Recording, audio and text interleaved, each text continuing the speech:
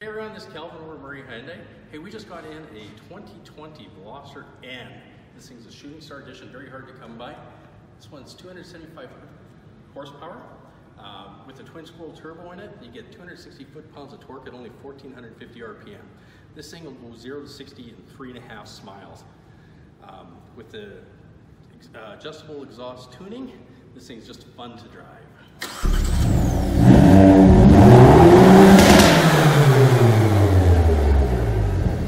down and check her out.